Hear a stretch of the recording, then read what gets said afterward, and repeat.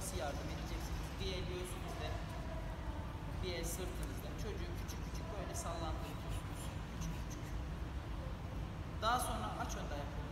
Ayakları önde açtırtıyorsunuz. Ayakların üstüne. Aç. Aç. Çocuk yorulacak. Mecburen ara ara bacaklarını açtırarak dinlendireceksiniz. Daha sonra aynı hareketi arkaya doğru yaptırın. Ayakları. Arkaya doğru yaptırın. Çünkü öne ve geriye gitme kasları, dayanma kasları güçlenecektir. Artık bunu da öğrendik. Yavaş yavaş yükseltmeye çalışıyorsunuz. Öne. Öne. El mutlaka göbekte ve sırtta olmalı. Çünkü çocuk öne de kaçabilir, geriye de kaçabilir. Ayak öne giderken çocuk omzunu geriye alabilir.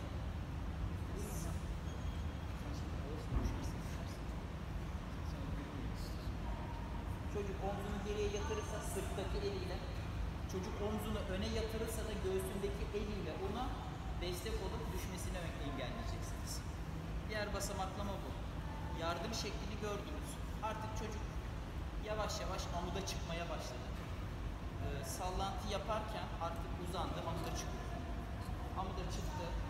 Bir el bacaktan amuda doğru giderken diğer el aşağıya her defasında söylüyorum. El omuz es buraya girecek. Bunda da geçerli.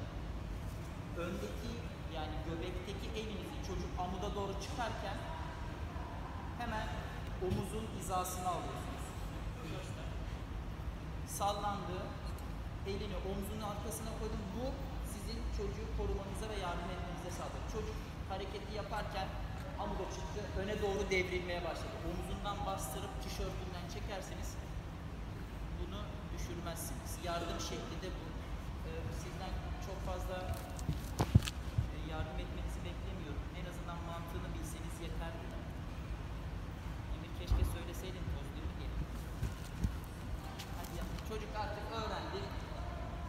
Altına minderleri koydunuz. Ben e, altına küp koyuyorum. Buraya minderler koyuyorum. Uçta yaptırtıyorum. Çünkü amuda çıkıp düşebilirler diye.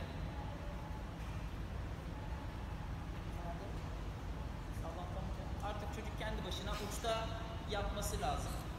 Büyüdü, gelişti. Kendi kendine durmak zorunda değilsin. Ama da çıkıp devam ettirebilirsiniz. Sallantı ama.